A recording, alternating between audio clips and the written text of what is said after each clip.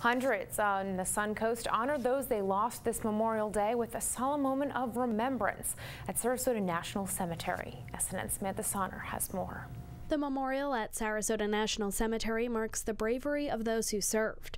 And on Memorial Day, families remembered those who made the ultimate sacrifice.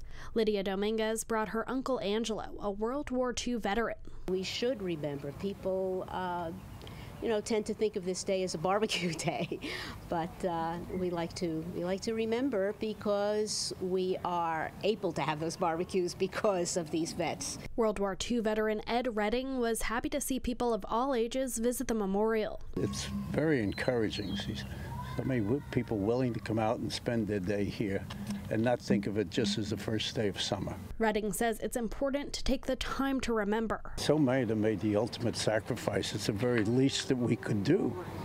The very least, and we don't want people to forget what kind of sacrifices a lot of people made. Neil McDaniel comes with his family every Memorial Day. I think about my father. I think about my wife's father. They all served. I think about all my family who was in there, and I think about freedom for the most part and the sacrifice that these people put in to give us our freedom. Tom Zelinsky says it's important and not to forget. It's it's, it's very difficult to talk about it. Uh, think about giving your life for your country.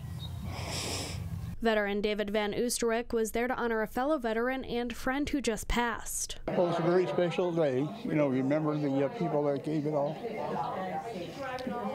So, that's kind of sad to think about everything. He's now thinking about the future of the military, including his son, who served for nine years, and his daughter, who is currently serving.